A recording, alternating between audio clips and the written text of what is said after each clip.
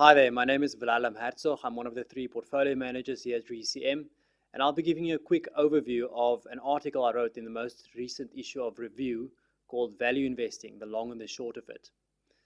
Chart 1 in the article shows the returns delivered by the MSCI World Value Index compared to the MSCI World Index and compared to the MSCI World Growth Index. The MSCI World Value Index consists of those stocks in the MSCI World Index which has the lowest price to forward earnings ratio, the lowest price to book multiple, and the highest dividend yield. So a combination of those three factors. The MSCI World Growth Index is that half of the index which basically does not form part of the MSCI World Value Index. And then obviously the MSCI World Index is just the total universe from which these two sub-indices are compiled.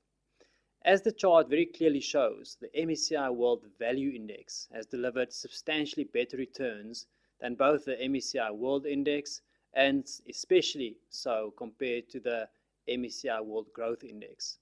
So, in summary, value investing works. That is why, as a firm, we follow a value investing philosophy. It delivers the best long term returns at the lowest level of risk compared to other investing strategies. Even in its simple form, as we see in these indices, these are very simple indices based purely on quantitative metrics of value. As a firm, we follow a philosophy of favoring high quality businesses trading at cheap prices. So our pattern of returns and the returns we generate as a firm will not always correlate perfectly with that of a purely quantitative value index like the ones we see in the chart, but there's a reasonable correlation over time. Why does everyone then not follow a value investing philosophy? It delivers such good returns over the long term, delivers lower levels of risk. It seems to be an absolute no-brainer to follow a value philosophy. The answer really is that value investing doesn't always work in the short term. And the short term can be uncomfortably long compared to the time frame and the horizon of many investors in today's markets. South Africa has been a perfect case in point. Chart 2 shows the returns delivered by the MSCI, or sorry, by the FTSE JSE Value Index compared to the FTSE JSE All Share Index since 2004, which is the inception date of the FTSE JSE Value Index. You can see there have been three very distinct cycles in this 10-year time period. From 2004 to 2007, value actually delivered very poor returns.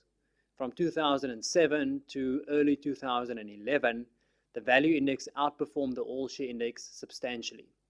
But from about early 2011 to date, the value index has again underperformed very substantially. This has been very much our experience in the South African equity market over the past number of years. Our South African equity performance has lagged that of the broader market but it has been our experience that that is because expensive assets, which have been expensive for some time, has kept going up, while cheap assets, where we have allocated capital to, have really gone either nowhere or even declined in price somewhat. We are very confident that this is a cycle, that this is not the normal permanent state of affairs. And incidentally, if you look at that entire 10 year period shown in chart 2, value has now underperformed the broader market for the entire 10 year period. This is a highly unusual state of affairs. If you look back at the longer history of the MSCI world indices shown in chart 1, there have only been about 6 in only about 6% of all rolling 10 year periods shown in this 40 year time span has value underperformed the broader market. So we've gone for 10 years in South Africa where value has underperformed the broader market in South Africa, which, as history shows in the global context, is a highly unusual state of affairs and one which we would be very surprised if it persists for the, for the longer term.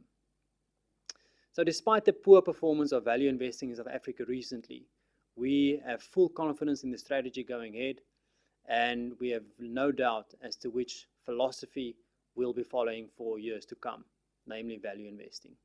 Thank you.